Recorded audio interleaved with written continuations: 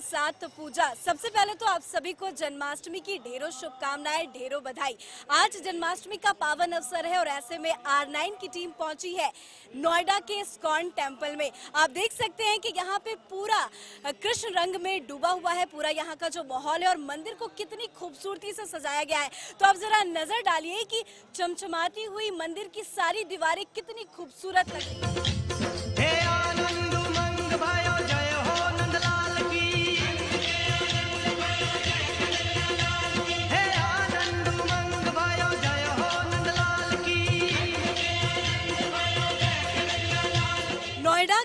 ISKCON temple जहाँ हर साल कृष्ण जन्मोत्सव को बड़ी ही धूमधाम के साथ मनाया जाता है।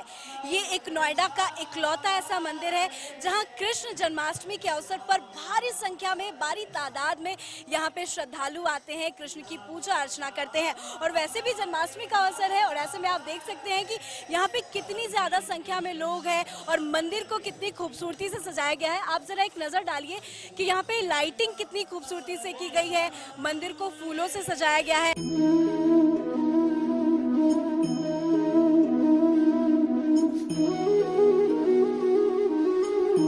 पूरा का पूरा जो ये मंदिर है, वो कृष्ण रस में डूबा नज़र आ रहा है। मंदिर का हर एक कोना बेहद ही खूबसूरत लग रहा है। और वैसे भी कहा जाता है कि कृष्ण जन्मोत्सव को एक त्योहार की तरह से मनाया जाता है।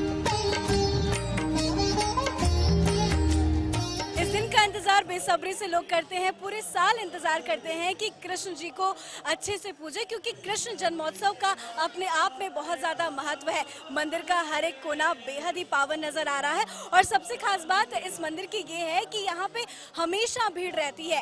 कृष्ण जन्मोत्सव को लेकर यहाँ पे रात में लोग जगते हैं, कृष्ण का जन्म करवाते हैं पूजा पाठ करते हैं, गीत गाते हैं, नाच, गाना, बजाना करते हैं और सबसे खास बात इस मंदिर की यहाँ पे ये है कि इतना ज़्यादा यहाँ पे भीड़ होता है, उसके बावजूद भी यहाँ पे सुरक्षा के जो इंतज़ाम है, वो बहुत पुख्ता है। लोग खुशी खुशी अपने परिवार के साथ फ्रेंड्स के साथ आते हैं, दर्शन करते हैं और कृष्ण जन्मोत्सव को बेहद ही उल्लास के साथ सेलिब्रेट करते हैं। तो चलिए, आपको अंदर लेके चलते हैं और दिखाते हैं कि अंदर का माहौल कैसा है, किस तरीके से कृष्ण रस में लोग यहाँ पे डूबे नज़र आ रहे हैं।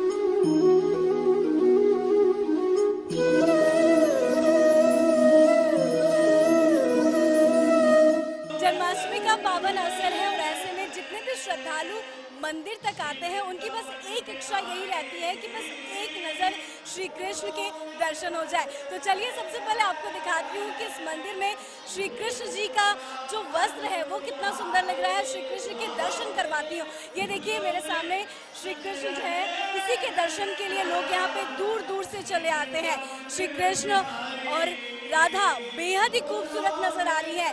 श्री कृष्ण जी को बहुत ही खूबसूरती से सजाया गया है और बस इसी के दर्शन के लिए लोग बहुत दूर दूर से चले आ जाते हैं। लंबी लंबी कतारें लगती है लंबी लंबी लाइनें लगती है। बस इसलिए कि एक बार काना कन्हैया के दर्शन हो जाए। तो आपने देखा कि श्री कृष्ण जी बेहद ही सुंदर लग रहे हैं और इसी के दर्शन के लिए लोग बहुत दूर दूर से आते हैं। और जरा एक नज़र ये देखिए कि यहाँ पे कितनी ज़्यादा भीड़ है, कितनी ज़्यादा संख्या में लोग यहाँ पे आए हैं दर्शन करने के लिए। लाइन लगी हुई है, बहुत दूर से दूर आ रहे हैं लंबी लंबी लाइनें हैं, कतारों पे लोग लगे हुए हैं और अपनी बारी का इंतज़ार कर रहे हैं।